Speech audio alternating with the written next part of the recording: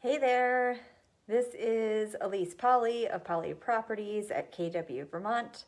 I am here to show you our newest listing in Fort Ethan Allen. Um, this is on Dalton Drive and it's as cute as a button. You're gonna love this place. It's chock full of character. So I'm starting out by the front door. Outside the front door is a nice little space to act as a mudroom for shoes and boots and coats. And then check out how much character this place has. I'm in love with all the natural light. Hi there, Penny. Thanks for tuning in. So, and the hardwood floors, are they not gorgeous? So we are on the third floor and right across the street, you have the tennis courts, the playground, the hiking and walking and running path. It's a great location. I'm going to take you right now to the primary bedroom. Hey there, Jeff. And again, don't you just love the character? They don't build places like this anymore. So this is the primary bedroom, which you can see is quite large, plenty of space. The view out front is to the park and the tennis courts. This association does allow pets with their approval. There's a nice sized closet here. And then I'm going to show you the next room. Look at the neat old stained glass up there a lot of original things in this unit. All right, this is another great sized room.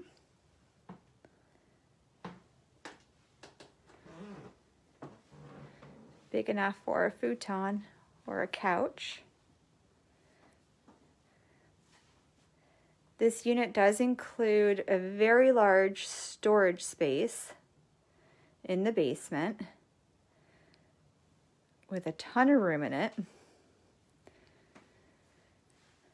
And another nice feature is that there is washer and dryer. So you don't need to worry about going to a common space for that.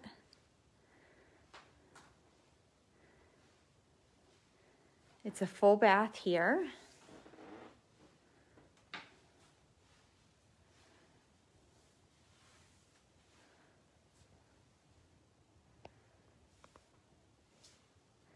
And then I will take you over to the kitchen.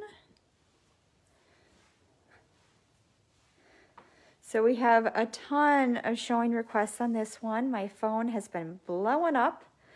I'd say we're somewhere around 20 showing requests at this point, give or take. Uh, we expect to have a lot of showings through the weekend, and as you know with this market, it likely won't last long. So here's the kitchen. If you bought a home with us, you might recognize that home sign. That's one of the closing gifts that we give out. So I always like seeing them in people's homes. Gorgeous tile there. And then I'm going to show you that washer dryer setup. And they do have a tankless hot water tank, which is Super nice. Never going to have a cold shower or run out of hot water. And there's a little bit of extra storage space up there. And then last but not least, I'm just going to show you real quick from inside the unit, there's the staircase that goes down to the storage unit.